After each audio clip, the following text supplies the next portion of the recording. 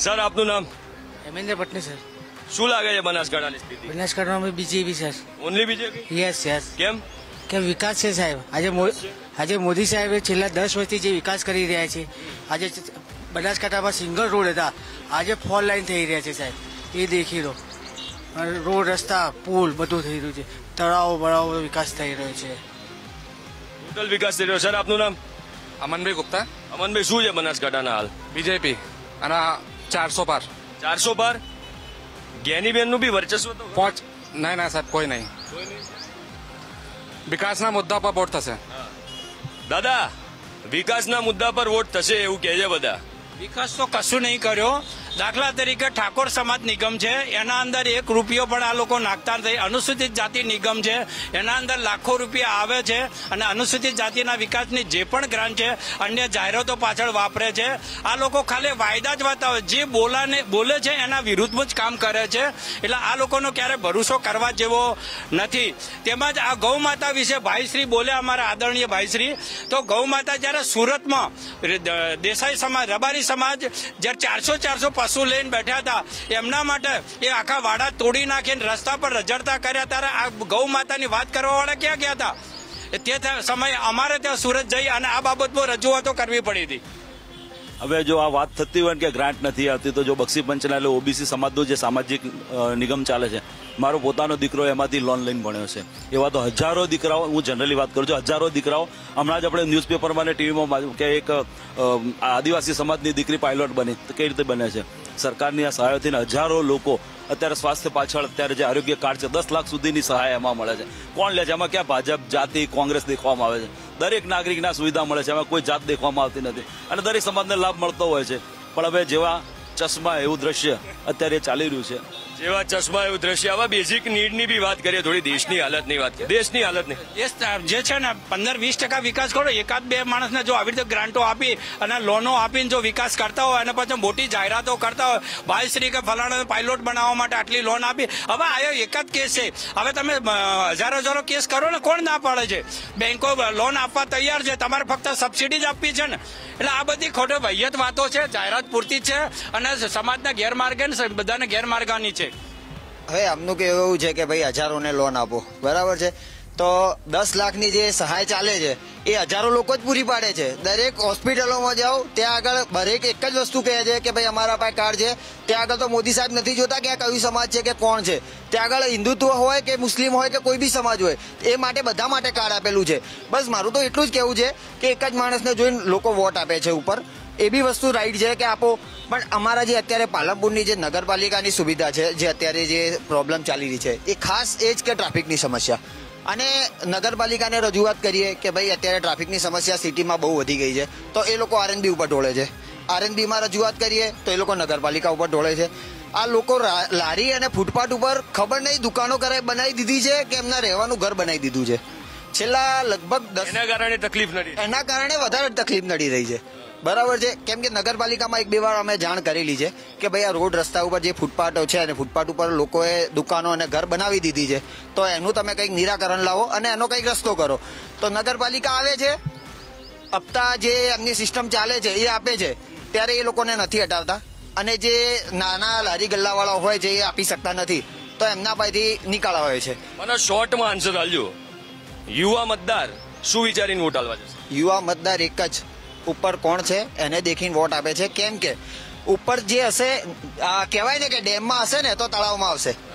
અહીંયા આગળ કોઈ બીજું નહીં હોય ને, તો મોદી સાહેબ ઉપર હશે તો અહીંયા આવશે. બાકી અહીંયા કોંગ્રેસ હશે ને, તો મોદી સાહેબ હોય કે કોઈ બી ઉપર હોય, અહીંયા કશું નહીં આવે. યુવા મતદાર છે, એ રોજગારી જોવે છે, શિક્ષણ જોવે છે. એને એ જરૂર છે. અને બીજી ઉપર કે નીચેની કોણ સરકાર છે, એ નથી જોઈતું એને. યુવાનોને રોજગારી જોઈએ છે. અને રોજગારી, મહેંગાઈ અને શિક્ષણ એ આજનો તાજો સ- જબરજસ્ત વર્તમાન એ સમસ્યા છે અને એ સમસ્યા માટે ભાજપની સરકાર ઊણી ઉતરી છે. મોંઘવારી રોજગારી બધા મુદ્દા. મોંઘવારી. તમે મોંઘવારીની વાત કરો છો તો આજથી દસ વર્ષ પહેલાની જે તમારી જમીન હતી અત્યારે એનો શું ભાવ છે એ તમે જોયું છે એકવાર? તમે મોંઘવારીની વાત કરો છો અને રોજગારીની વાત કરો છો. આપણા ગુજરાતમાં અને બનાસકાંઠામાં કેટલી ઇન્ડસ્ટ્રીયલ ફેક્ટરીઓ છે તમને ખબર છે?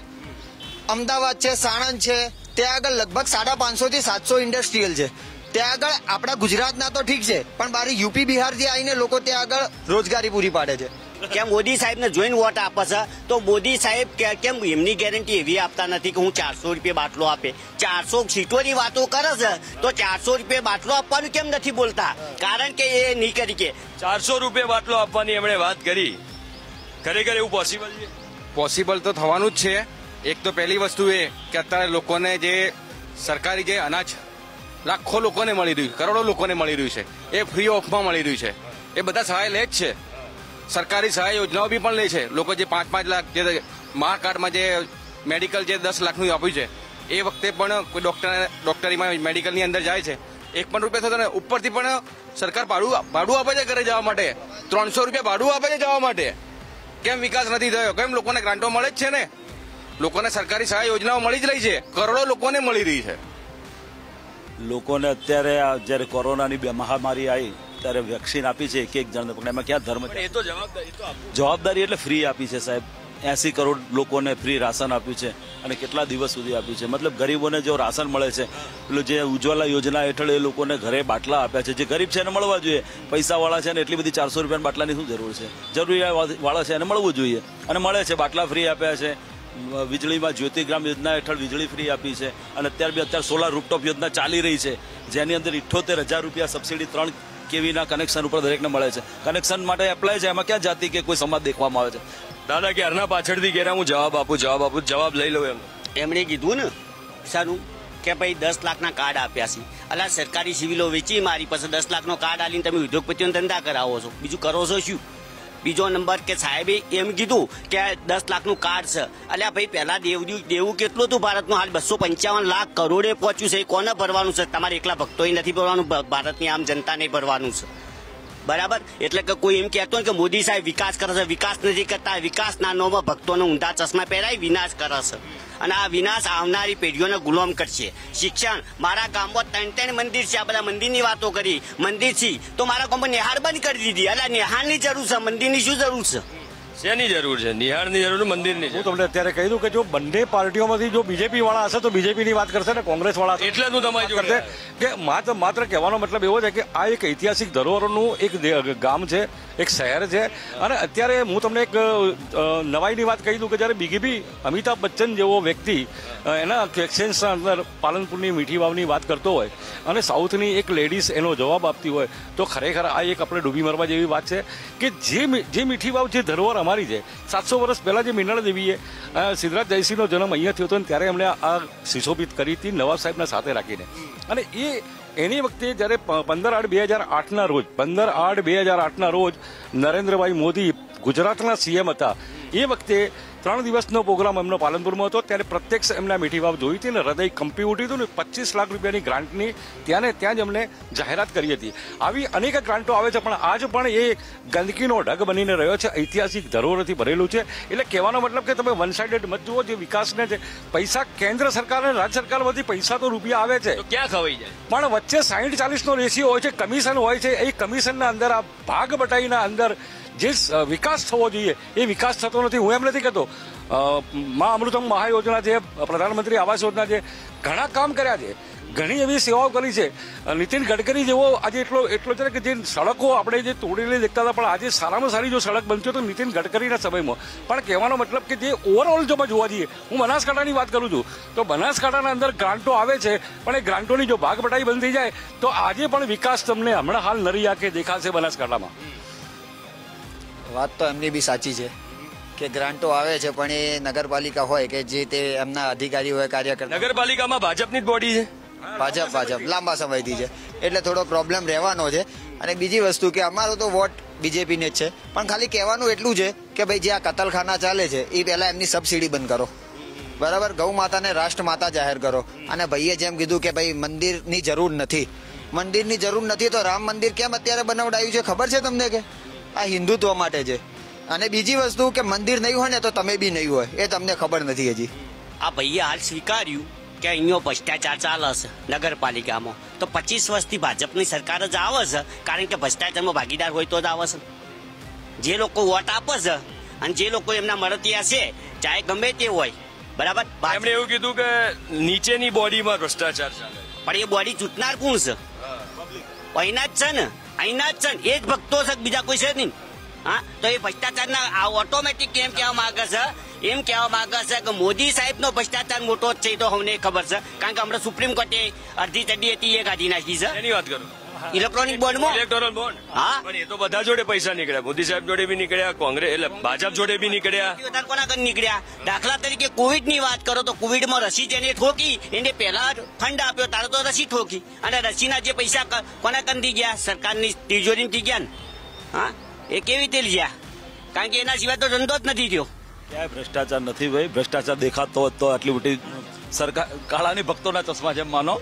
પણ બધા, તમે હિપ્નોટિઝમ હા હા, તમે હિપ્નોટિઝમ કહો છો હિપ્નોટિઝમ નથી. મોદી સાહેબ ઉપર લોકોનો વિશ્વાસ છે, મોદી સાહેબની ગેરંટી છે. ગેરંટી તમે હિપ્નોટિઝમ માનો તો હિપ્નોટિઝમ છે. બાકી કોઈ હિપ્નોટિઝમ નથી હોતું, લોકોના દિલમાં પ્રેમ છે, ભાજપ માટે, ભાજપની ગેરંટી ઉપર વિશ્વાસ છે, એટલે વોટ આપે છે. અને બીજું વાત એમણે કહ્યું એમ કે ભાઈ, આ ભ્રષ્ટાચાર તો ભ્રષ્ટાચાર, અમને તો ક્યાંય દેખાતો નથી. રાજીવ ગાંધીએ કબૂલેલું છે કે મેં રૂપિયો મોકલું નીચે પંદર પૈસા પહોંચે છે, મતલબ પંચ્યાસી પચાસ પૈસા વચ્ચે એમના જ માણસો, જે ભક્તો કહેવાય કે એમના જે ગાંડા ભક્તો કહેવાય કોંગ્રેસના એ ખાઈ જતા હતા. બાકી ત્યાં, ત્યારે તો ભાજપ હતું નહીં ક્યાંય ચિત્રમાં. આ ઇલેક્ટોરલ બોન્ડનો ઇલેક્ટોરલ બોન્ડનો મુદ્દો ઉઠ્યો એ બી ઉઠાવવા જેવો છે. ઇલેક્ટોરલ બોન્ડમાં સૌથી વધારે રૂપિયા બીજેપી જોડે નીકળ્યા. પછી ટીએમસી જોડે નીકળ્યા અને કોંગ્રેસ જોડે બી, એવું નહીં, બધા જોડે હતા. આનો ટેક શું છે? તમે શું વિચારો એનો? હવે એ તો એકચ્યુઅલી મને સ્ટડીમાં એના નથી કરી, એટલે મને એની પૂરી માહિતી નથી એના વિશે. બરાબર છે. પણ બીજેપી આ લોકો ભ્રષ્ટાચાર ભ્રષ્ટાચાર, હું એટલું માનું છું કે ભ્રષ્ટાચાર હોય તો આટલો બધો વિકાસ ના થાય. વિકાસ થઈ રહ્યો છે અને પબ્લિકને પણ દેખાઈ રહ્યો છે અને પબ્લિક પણ સ્વીકારે છે. બીજેપીને સ્વીકારે છે અને મોદી સરકારને સ્વીકારે છે. ત્યારે આટલો બધો વિકાસ બી થાય છે અને બીજેપીની જોડે પબ્લિક બી છે. પબ્લિકને જો બીજેપી જોડે એવું નથી, પણ પબ્લિકને વિકાસ દેખાય છે, કામ દેખાય છે, સરકાર દેખાય છે, સરકારનું કામ દેખાય છે અને એનું ભવિષ્ય દેખાય છે. જેથી કરી અને નવા યુવા પેઢી બધા બીજેપીની સાથે જોડાયેલા છે. મને એમ કે આપણે બનાસકાંઠાની વાત કરીએ. જ્ઞાનીબેન જ્ઞાનીબેન એમ તો ફાયર બ્રાન્ડ નેતા કહેવાય કોંગ્રેસના. અને જ્ઞાનીબેન જીત્યા બી હતા, ધારાસભ્ય બન્યા હતા. જ્ઞાનીબેનને ઉમેદવાર કોંગ્રેસે રાખ્યા છે. એની કેટલી ઇફેક્ટ બીજેપી પર પડવાની? કોઈ ઇફેક્ટ નહીં પડે. કારણ કે કોંગ્રેસ ક્યાંય ચિત્રમાં જ નથી. અમારા ઉમેદવાર ડોક્ટર રેખાબેન હિતેશભાઈ ચૌધરી શિક્ષિત છે ડોક્ટર છે ડોક્ટર મતલબ પીએચડી છે. શિક્ષિત ઉમેદવાર જોઈએ ભાઈ ફાયર બ્રાન્ડ બોલવાથી ફાયર બ્રાન્ડ નથી બનાતું કામથી ફાયર બ્રાન્ડ બનાય. અને કામ તમે અમારા ઉમેદવાર જીતશે ત્યારે તમે કામ જોજો એને કહેવાય ફાયર બ્રાન્ડ નેતા. એ કીધું ને કે ગેનીબેન. તો ગેનીબેન તો ધારાસભ્ય છે જ. બરાબર? અને રેખાબેનની વાત કરે છે કે પીએચડી છે આ છે ના છે. તો મેં મને રેખાબેનનું ભાષણ વાપર્યું. તો એમણે એ કીધું કે મારે તો કોઈ કરવાની નહીં મોદી સાહેબના નામો વોટ આપજો. બરાબર? તો એ પીએચડી કરેલું શું કોમનું? જેમ કે એમને મોદી સાહેબના નામો વોટ જોઈએ એમને રેખાબેનના નામો વોટ જોઈતો નથી. બરાબર? તો એ ભણેલા હશે તો શું કોમ ના કારણ કે ત્યાં જઈને વગડી ઊંચી કરવાના. અમારા પેલા ડાભી સાહેબ જેવું છે ભરતભાઈ ડાભી. ડાભી. ભરતભાઈ ડાભીની એ ખબર નથી મોદી સાહેબ દેહાય છે કે મોદી છે. એમના નિવેદનમાં ના કારણ કે ભાજપ નમૂના જ હોય એ ભૂલ તો થાય. ના હું શું કહેવા માંગુ? યશસ્વી વડાપ્રધાનનું નામ ખોટું બોલાય? બીજાનું નામ તો બોલાય. હા વડાપ્રધાન નામ ખોટું બોલાય? સાહેબ હું કેપિટલ ન્યૂઝ ચેનલના માધ્યમથી એક રાજ્ય સરકાર અને કેન્દ્ર સરકારને એટલું કહેવા માંગુ છું કે દરેક વખતે અહીંયા અમારા સંસદ સભ્ય હોય કે તે હોય પણ અહીંયા એવા કોઈ લઘુ ઉદ્યોગો કે કોઈ બી એવા ઉદ્યોગો નાખવામાં નથી આવ્યા કે જેના કારણે રોજીરોટીનો એક પ્રશ્ન ઉપર સોલ્વ થાય. આટલા બધા બધા લોકો આવ્યા છે પણ હજુ સુધી કોઈ પણ રોજીરોટી નથી. જે ઉદ્યોગો છે એ ઉદ્યોગોને અહીંયા ખાલી એક ડાયમંડ ઉદ્યોગ હતો જે પડી ભાંગ્યો હતો. માત્ર પશુપાલનનો ઉદ્યોગ છે એક મોટા ઉદ્યોગો થાય અને અહીંના જે બી ધા- અ, સંસદ સભ્ય બને એ બનાસકાંઠા જિલ્લામાં ઉદ્યોગો પ્રસ્થાપિત કરે તો લોકોને રોજગારી મળશે. રોજગારી મળશે. રોજગારી તો મળશે જ કેમ કે અત્યારે બનાસકાંઠા જિલ્લામાં ઓલરેડી બે બનાસ ડેરી છે. એક પાલનપુરમાં છે ને એક દિયોદરમાં. સહકાર ક્ષેત્ર બનાસકાંઠામાં સૌથી વધારે મજબૂત હા સો ટકા. કેમ કે અત્યારે વધારે તો નહીં પણ અત્યારે બે તો ડેરી નાખી છે. એમાં ઓછામાં ઓછા એક ડેરીમાં દસથી પંદર હજાર કર્મચારીઓ કામ કરે છે. એવી એવી બે ડેરી છે એક દિયોદર છે અને એક પાલનપુરમાં છે. હવે હવે એક છેલ્લો સવાલ એક છેલ્લો સવાલ બધાને પૂછું છું. બનાસકાંઠામાં કોણ જીતશે? ગેનીબેન જીતશે કે રેખાબેન જીતશે? એક જ શબ્દમાં બધા જવાબ આલવાનો છે. એક નામ જ બોલવાનું છે. બરાબર ને? ગેનીબેન બે લાખની લીડથી જીતવાના છે. ગેનીબેન જીતશે. ગેનીબેન જીતશે. શું છે કહો? એક જ એક જ શબ્દમાં જવાબ. ગેનીબેન જીતશે કે પછી રેખાબેન રેખાબેન અને ભાજપ જ જીતશે. રેખાબેન. રેખાબેન પાંચ લાખથી વોટ જીતશે. રેખાબેન ભાજપ રેખાબેન પાંચ લાખ વોટ જીતશે. રેખાબેન જ જીતવાના છે અને સો ટકા સત્ય વાત છે. રેખાબેન જીતવાના છે સો ટકા જીતવાના જ છે. ભગવાઈ લહેરાના હે. રેખાબેન જ જીતશે જ્ઞાનીબેન જ જીતશે રેખાબેન. જ્ઞાનીબેન સાહેબ અત્યાર સુધી તો ચિત્ર સાડી સાઠ ચાલીસનું છે પણ પાછળના જે દિવસો માનનીય પ્રધાનમંત્રી કઈ રીતે આવે છે ચિત્ર ત્યાં બદલાય છે. અત્યાર સુધી તો ગેનીબેન છે. તો બનાસકાંઠાના લોકો જોડે આપણે વાત કરી. બનાસકાંઠાની જનતાની ક્લિયર ચોઇસ જાણી અને આ એપિસોડ જોઈને તમને પણ ખબર પડી ગઈ હશે કે બનાસકાંઠાના લોકો શું વિચારી રહ્યા છે. આવી જ રીતે આપણે અલગ અલગ જિલ્લાઓમાં મળતા રહીશું. અત્યારે બનાસકાંઠામાં ગરમી પણ વધારે છે એટલે એપિસોડને પૂરો કરીએ છીએ. અને અને હવે નેક્સ્ટ બે મિનિટ બે મિનિટ. અને હવે નેક્સ્ટ આપણે મળશું મહેસાણામાં એટલે ત્યાં સુધી તમે જોડાયેલા રહેજો. ન્યૂઝ કેપિટલ ગુજરાતની સાથે.